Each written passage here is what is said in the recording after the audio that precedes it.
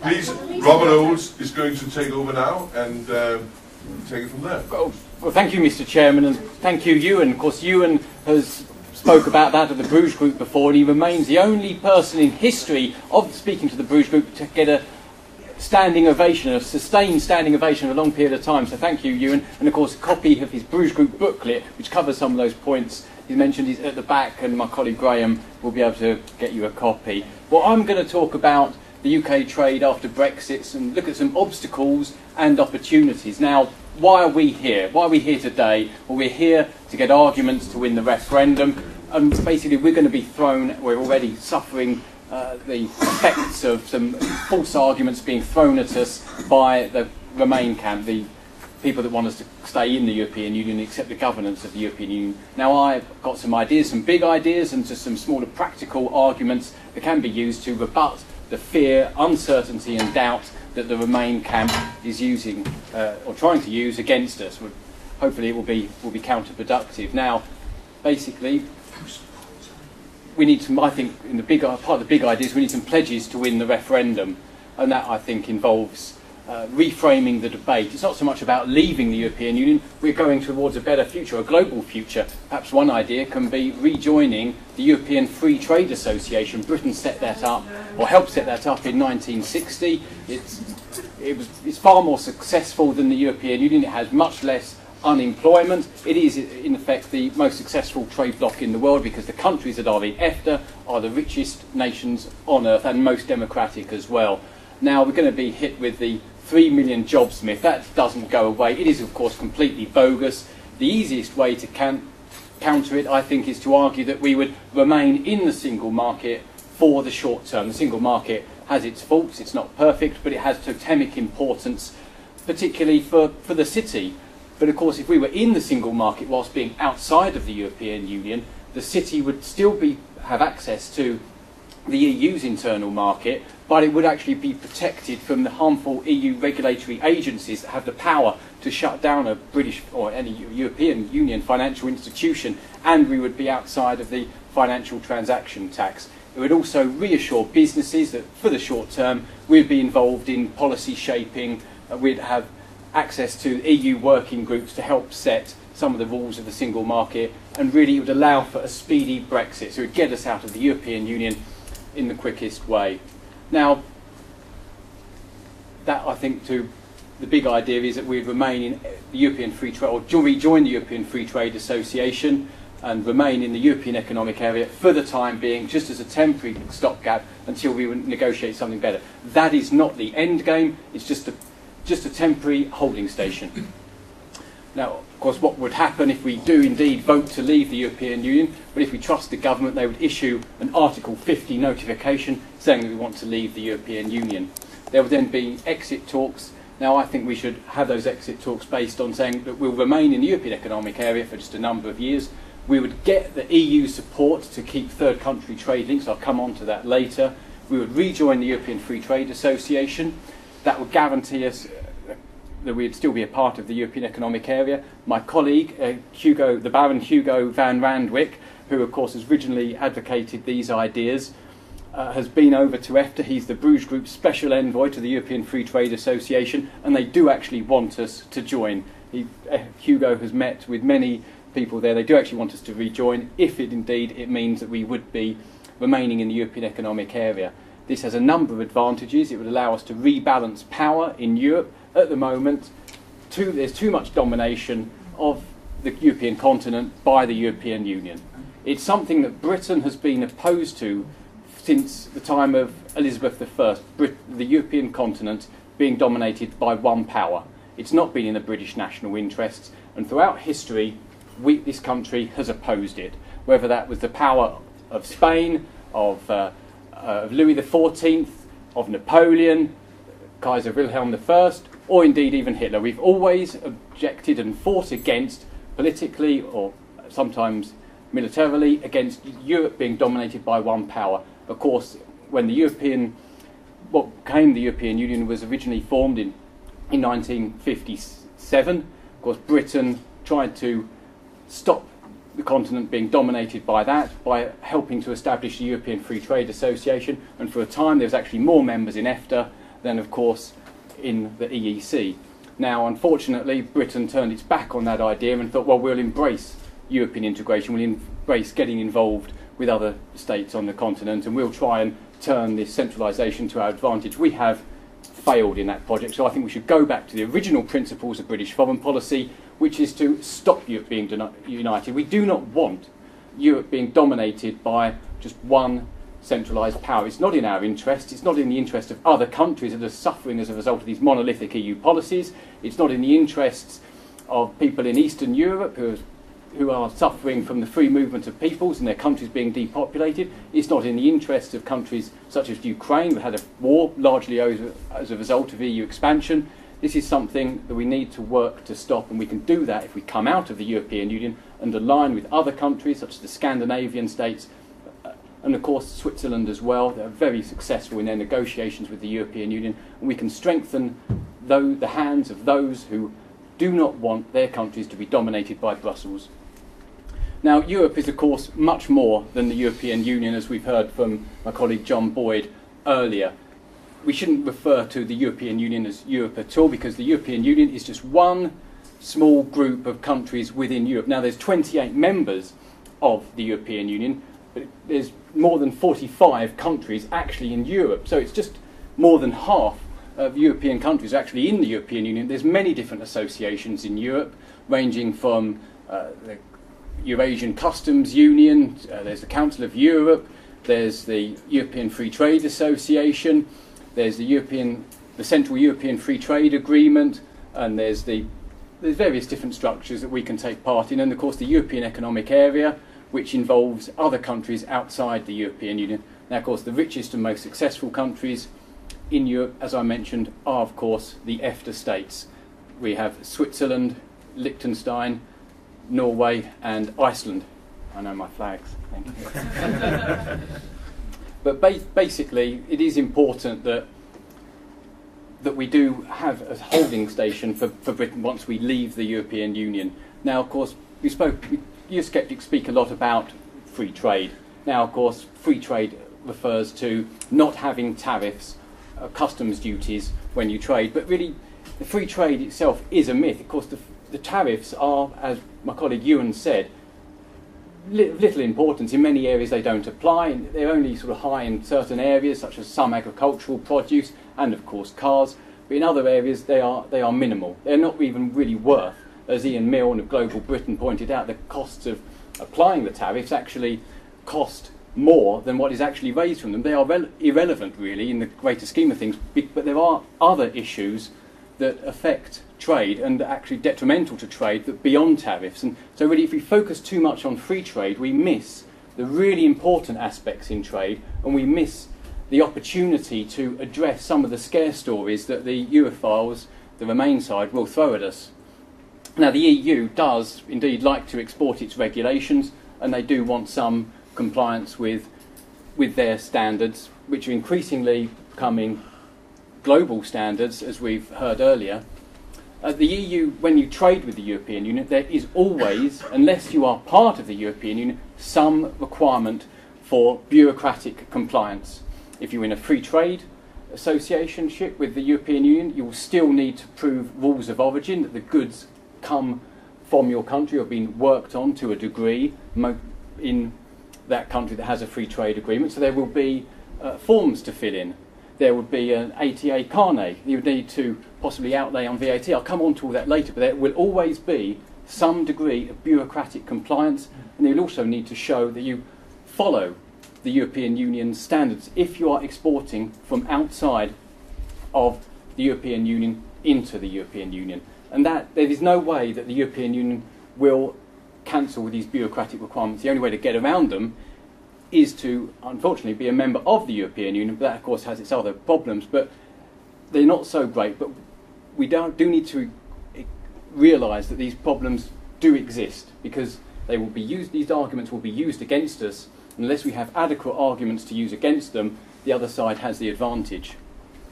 Now, of course, as I mentioned, the trade agreements with the European Union also require some degree of regulatory compliance. Usually trade agreements with the EU, even free trade agreements, will require that even human rights standards are respected, that, uh, that environmental standards will be respected, that intellectual, uh, intellectual property will be respected, and of course they'll follow global standards. So there is always some degree of regulatory compliance with the European Union when trading from outside.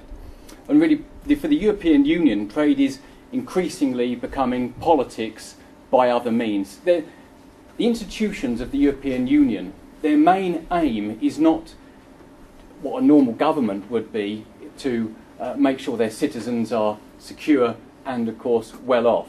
Their main aim is to make sure that their standards are followed, that their ideologies imposed on other countries. That's why they include human rights standards in, increasingly in some of their trade agreements. That does not relate to trade, but the European Union wants to use it as a lever to gain influence around the world. They're not accountable to their citizens. The European Commission isn't elected. The European Parliament has very little, as John Boyd mentioned, very little sort of real relationship to actual normal peoples. They don't actually mind standards that are actually damaging to people's livelihoods. They don't really care about that. What they want is their political agenda to be followed. Now, there are problems with trade. You, if, you're going to be if, if we leave the European Union, com- companies exporting to the EU would need to go through a designated port of entry. Uh, there would be some tariffs, as you had mentioned, those tariffs are incredibly low. We would need to have our trade schedules readopted by the World Trade Organization. That's, that's something that we need to consider. I believe there was research by the Democracy Movement from the Swiss based uh, International Centre for World Trade Law that, uh, that covered this, and maybe we can discuss that later.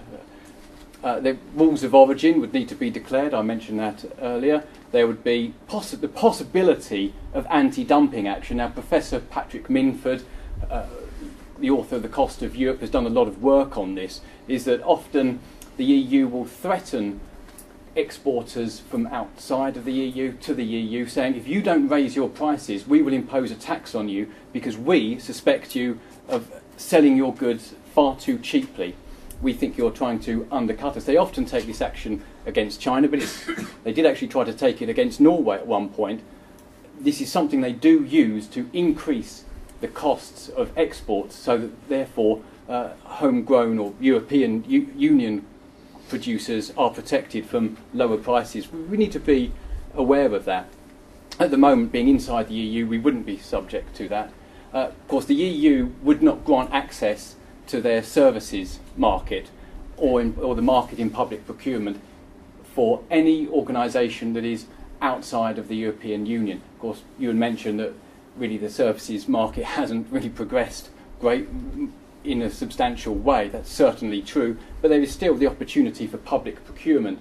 And if you're inside the European Union or inside the European Economic Area, you have access to this market, which is worth, I believe, 16 trillion euros. It's a very substantial market, and if we're inside, then we have access to that. If we're outside, arguably, we wouldn't depend upon the agreement. We need to understand that the, these problems exist so that we can counter them.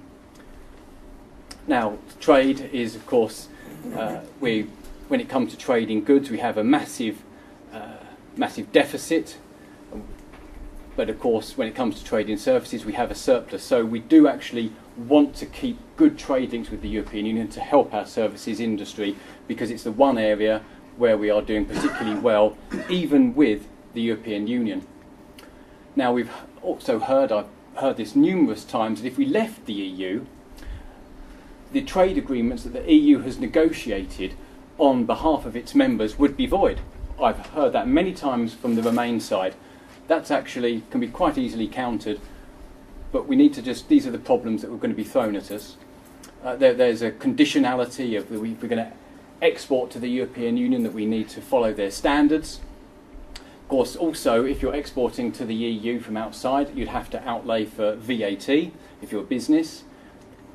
And of course, if you're exporting to the European Union, there's a requirement for conformity assessment. You'd need to prove, or the importer would actually need to prove that the standards uh, of the EU are actually being followed. That's another bureaucratic problem. That, and basically, all these arguments, and probably some more that are made up, but these are the real ones, will be thrown at us in the referendum campaign. And we need to be able to ar- counter these adequately, otherwise, we're going to have a very difficult time in the referendum.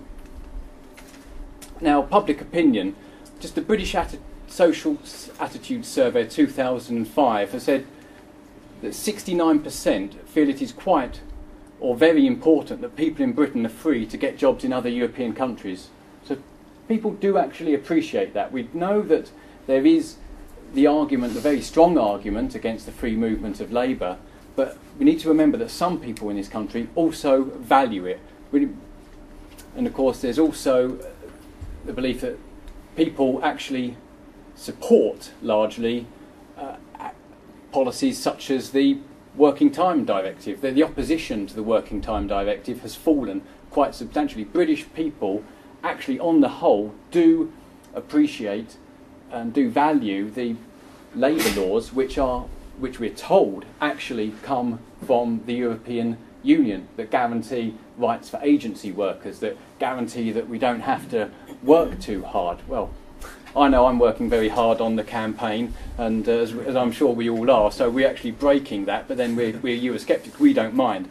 But basically, we need to recognise that often we will, there will be, there is actually a very powerful left of centre argument, a sort of traditional socialist argument that can be used against the EU, as we heard from John Boyd earlier. But currently, the other side are using arguments, and they're saying that if you're talking about abolishing regulations, then we actually then they will claim that we're abolishing the rights that workers enjoy that uh, guarantee them some protection. Of course, it's actually quite false because many of these rules actually originate from the International Labour Organization. They're just applied by the European Union. But we need to be cognitive of these arguments because if we're going to win the referendum, we need to win over those that are undecided, those who are in the middle. There are there's around a third of the country, I'm just approximating, who are wedded to staying in the European Union no matter what. Around a around a third who will definitely vote to leave the European Union, and then there's people in the middle. It's I think there's some what of a, a soft middle that could swing either way. At the moment, they're possibly edging towards us. Will they stay with us? That's the question. We need to have answers to these questions to make sure that they do. Now, answering the problems, the issue of the designated port of entry. Well, that's quite, that's quite an easy one because the WTO demands equality of access. If one country is given access via a port, it has to go through a, very, a customs post, then other countries should be allowed. Occasionally, you do get states that put rules against others, trying to make give them unfair access, make it harder for them. But really, the WTO demands equality of access via designated port of entries, so that should be fine. Tariffs, well, they're increasingly irrelevant, as Ewan mentioned. They're, in many areas, they don't even apply, and their overall weight is irrelevant. It, it doesn't even match the amount of uh, money the British government hands over to the European Union each year that they raise. Of course, one important point on tariffs is that the exporter doesn't actually pay, it's the importer. So if we're exporting to the European Union, we're not paying, it's those that are trying to bring the goods in. Uh, rules of origin. Well, actually, the rules of origin and the procedure that you follow when declaring that your, if you have a free trade agreement, that your goods come from your own country, they're actually decided by the World Customs Union. And from 2017, the system will be simplified. There's, there was a report in Congress saying that it adds a lot to adds a lot to the cost of exporting to a country, having to fill out these bureaucratic forms. Uh, the late Ronald Stewart-Brown was very good at highlighting the costs of rules of origin and saying that we needed to have an answer to that. Of course, uh, Ronald Stewart-Brown was formerly the Trade Policy Research Centre. He passed away um, in 2015. He was a great supporter of the Bruges Group and a very well respected Eurosceptic. It's very worthwhile to remember him now. Uh, but from 2017, the system will be a lot easier, so that shouldn't be a problem anymore. Uh, Anti dumping action. Well, really, Western nations are not usually targeted by the European Union. It's only usually um, only usually countries such as China. And of course, we look at uh, the steel industry the British government has been saying to the EU, you need to take anti dumping action against the cheap imports of Chinese steel, and they haven't acted. So if any Europhile uses that argument against us that we could be subject to anti dumping action, just say, well, They haven't protected our steel industry. Western European, Western nations are not usually targeted, and they didn't even take anti-dumping action when it was in the benefits of the British industry. So that's, a, that's another bogus argument. But we need to be aware that this can be thrown at us. Now, the EU will not grant access to the services market. You remember these are the problems that I discussed in an earlier, earlier slide. Well, Switzerland doesn't have access to the EU services market, yet they do very well. They have a very good financial services sector and business services. Of course, they get around the rules of being in uh, the European Union by having having um, subsidiaries within the European Economic Area, which allows them to trade it. They find it slightly cumbersome, but it works fine for them. Or, of course, another way is that we remain in the European Economic Area, and then we have full access, just like any other any other uh, business in the European Union, to both the services market and the public procurement market.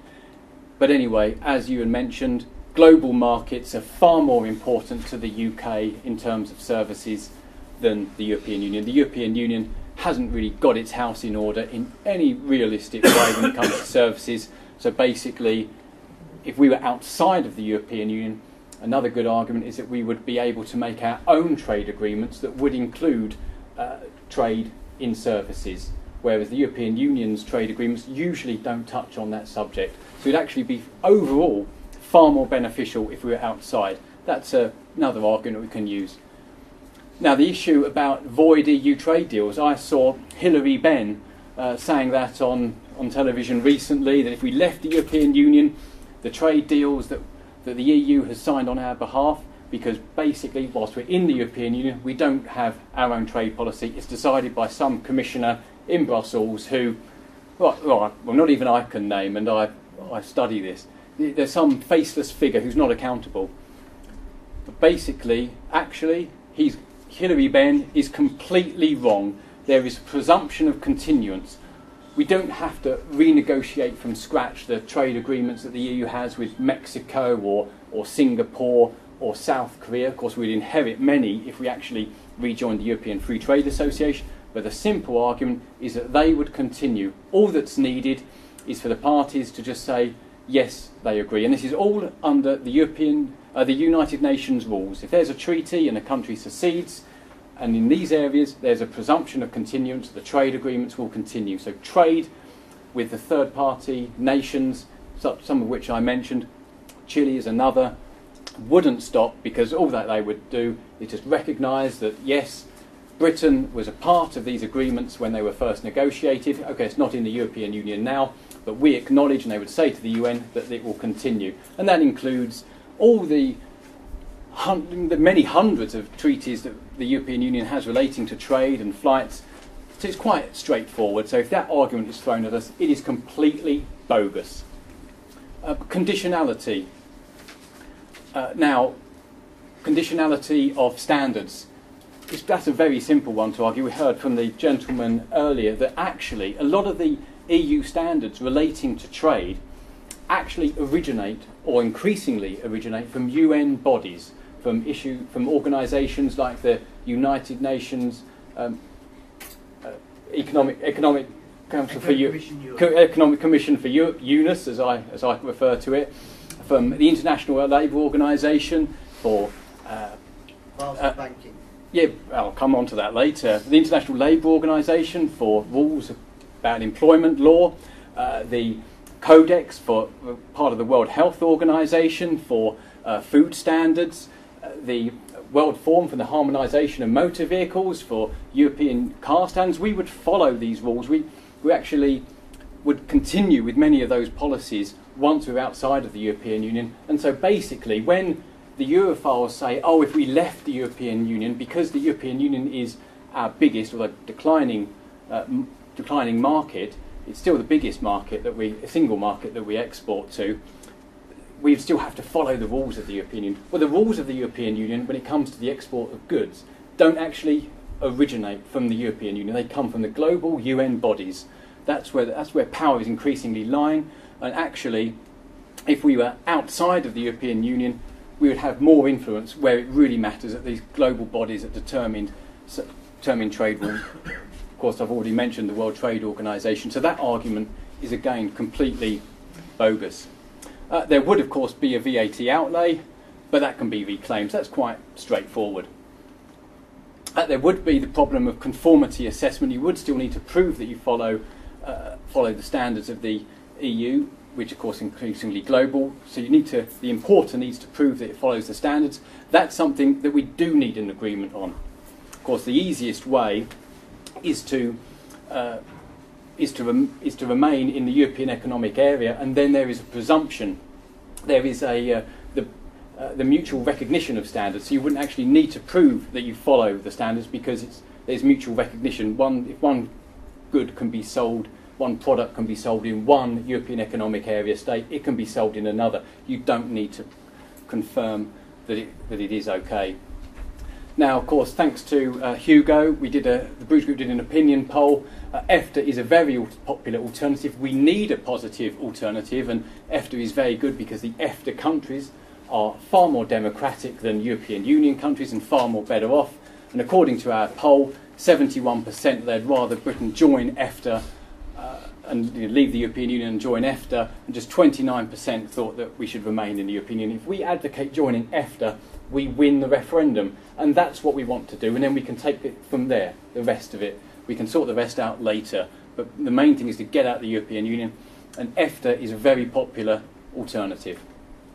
And basically, it's leaving the political union but keeping economic links. Now, EFTA membership allows for membership of the single market. Uh, you can actually restrict immigration using Articles 112, 113, and Protocol 15 of the EEA agreement. Liechtenstein does it. Little Liechtenstein doesn't give the right of residency to, uh, to other, other peoples in the European Union, uh, whereas even Switzerland does. So if Liechtenstein can, can use the EEA to restrict immigration, then so can we. So, and basically, all the, a lot of what David Cameron is talking about and Donald Tusk about the emergency brake, that's just a copy. The language is just copied from the EEA agreement. Uh, whereas actually, of course, David Cameron's emergency brake can't actually work because, whilst we're in the EU, we don't make the rules. If we're outside, even if we're in the European Economic Area, the final judge, as it were, of whether you're following those rules is your national institutions. There is an EFTA court, but it doesn't have power like the ECJ does. Uh, of course, it guarantees trade and encourages investment, and you have the right to make your own trade agreements, which is what we want. And the majority of EEA relevant rules are determined above the EU by specialised UN agencies now you don't have to note this down, but this is some, just some of the, uh, the system that Ewan referred to in his talk, where there was 96 different global bodies. These are the UN agencies, the International Labour Organization, um, UNECE is, along, along here as well. There's, this is where power increasingly lies, but Britain doesn't have a voice in these bodies because we're in the European Union. We're represented by some faceless commissioner who's not acting in the British interest because we only have around 12% say in EU policies. If we were outside, we'd have our own representative in these intergovernmental bodies that are, where policies are agreed uh, unanimously. Countries have a veto and they're not dictated to. If we're outside of the European Union, we'll be able to in, get involved with where power really matters. And when it comes to finance, the European Union is not the most relevant body. Uh, we would still have access to financial markets because we'd be following the OECD, the Basel, the G20, World Bank, uh, Financial Stability Board rules. And basically, that's where power lies. But if we're in the European Union, we're not representing ourselves where it really, really matters. And some people might be concerned about European Economic Area rules. Actually, they can't mainly cover technical regulations and standards and testing and things like that. Oh, pretty. It's, it's not the not really the meat and drink of the European Union. The main things we're fighting about is technical issues that just allow trade to function more smoothly. And the benefits of EFTA, well, it's, you're fully engaged with the UN standard setting agencies, you have formal input into the development of EU law, it's off the shelf, already an existent network of trade links that we can take advantage of if we joined. And we'd be outside of the things we really don't like the European Union foreign policy, the European Defence Agency, the CAP, which we'll hear more about later, the Common Fisheries Policy, and we'll be free of the financial regulators and other EU agencies. We would be a self governing nation, but just having access to the EU single market, and hopefully in time we would have a full trade agreement we'd have, have even more sovereignty and more, more input and more control over our own affairs. Uh, but really, EFTA is a very useful stopgap. And the European Commission actually recognises that it's a convenient alternative. And that's some of the trade links. But really, leaving the European Union isn't the end. It's the end, you know, we, we can take a day off, I think, uh, after we win and, and celebrate, but it's not going to be the end. It's just the beginning of realigning power in Europe, making sure Europe's not dominated by one bloc, such as Brussels, which has caused so much damage, ruined the lives of millions in southern Europe. It's about making our own country more democratic, and ultimately, we'd replace the EEA agreement uh, with a new international settlement between those countries that want out of the EU, those countries that aren't in the EU, and of course uh, with, with the European Union itself. And we have a real opportunity to rebalance power and achieve the principles of British foreign policy, which is to stop the continent being governed by the corrupt lot in Brussels. Thank you.